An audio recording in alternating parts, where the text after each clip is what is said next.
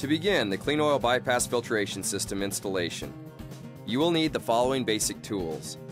A half inch drill, a 25 64th inch drill bit, a quarter inch drill bit, an eighth inch drill bit, pipe sealant, Allen wrenches, both metric and imperial, and wrenches in the following sizes 3 quarter inch, 9 sixteenths and 7 sixteenths, half inch, and 17 millimeters.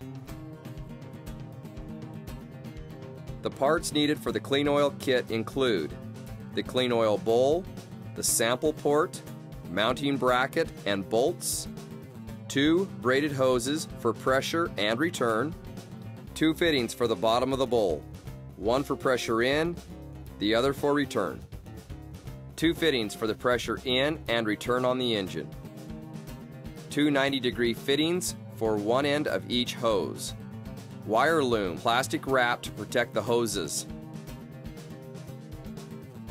on the Cummins engine, it is necessary to mount the Kleenoil bowl behind the cab. Never mount the bowl to the engine block. Always mount it to the frame.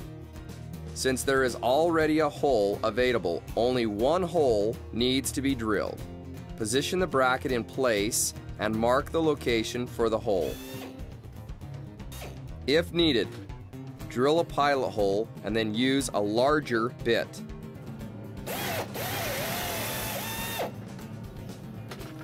Bolt the bracket in place, making sure the bolts are tight.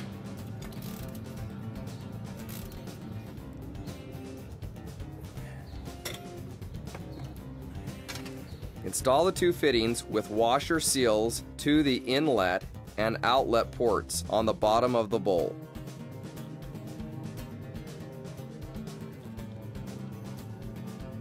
Carefully tighten them with a wrench.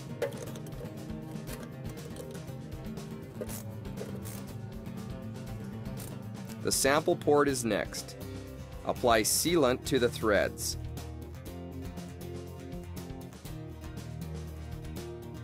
Do not tighten it all the way. The sample port will be tightened completely later. Position the bowl in the bracket and secure each side tightly with the two bolts.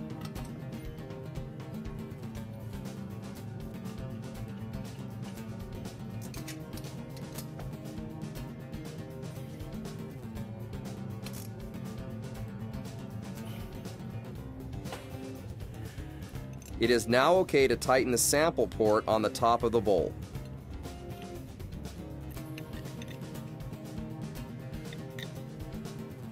The two engine fittings are installed next. The pressure fitting is 14 millimeter and the return fitting is 12 millimeter. Before they can be installed, the engine plugs need to be removed. The pressure plug is located on the driver's side of the engine, seen here. The return is below it, seen here. Remove the pressure plug using an Allen wrench.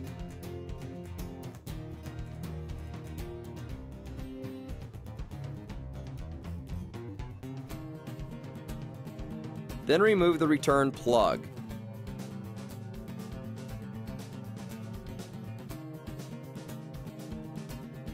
The two fittings can now be threaded into place.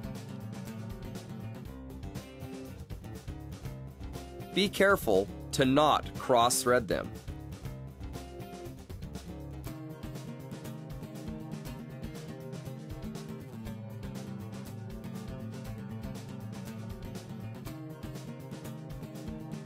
Use a wrench to tighten them.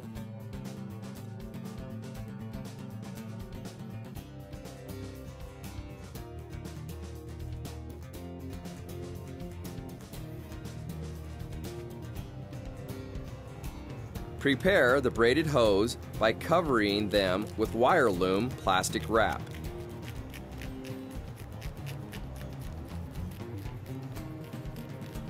Install each hose one at a time to prevent accidental crossover. Attach a 90 degree fitting to one end of each hose. The end without the 90 degree fitting can be attached to the pressure side of the engine. Tighten the connection with a wrench.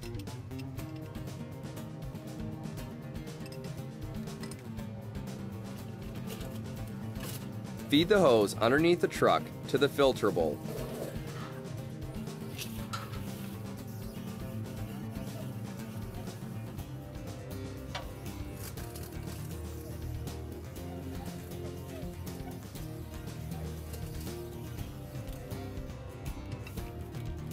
Attach the 90 to the inlet side on the bottom of the bowl.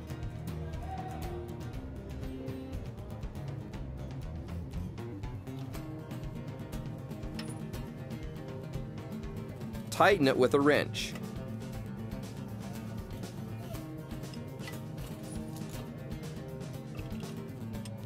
Attach the second hose to the return on the engine and tighten the connection.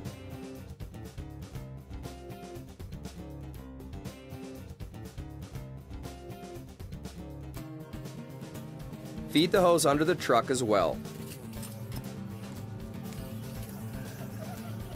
Attach the end with the 90 degree fitting on the outlet side on the bottom of the bowl.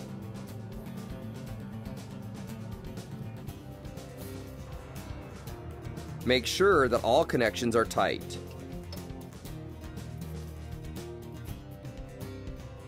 Secure both hoses beneath the truck with zip ties. Use as many as needed.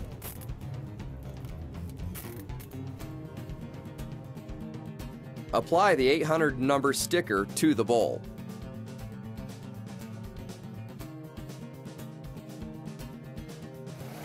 Start the engine and let it idle for several minutes. Check all connections for any leaks. After a few minutes, place your hand on the filter bowl to check that it feels warm to indicate oil is flowing.